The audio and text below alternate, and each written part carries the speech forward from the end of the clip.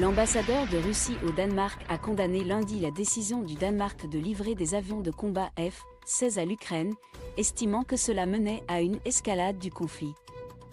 Le fait que le Danemark ait décidé de faire don de 19 avions F-16 à l'Ukraine entraîne une escalade du conflit, a déclaré Vladimir Barbin, cité dans un communiqué envoyé à l'AFP. Ces avions promis par le Danemark seront livrés progressivement à Kiev, 6 vers la fin de l'année, 8 l'année prochaine et 5 l'année suivante, selon la première ministre danoise.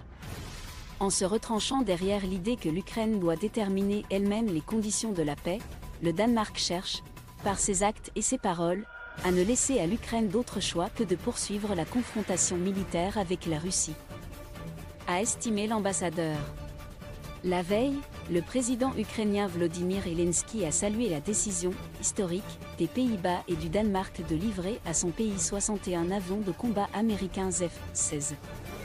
Il s'est rendu dimanche dans ces deux pays pour examiner les appareils que Kiev réclame inlassablement depuis le début de l'invasion russe pour combattre les forces de Moscou. Largement supérieur à ce stade. Vendredi, les États-Unis avaient approuvé l'envoi de ces chasseurs à l'Ukraine une fois les pilotes ukrainiens formés. Selon Vladimir Barbin, la décision du Danemark pousse l'Ukraine dans l'abîme et condamne son peuple à de nouvelles victimes.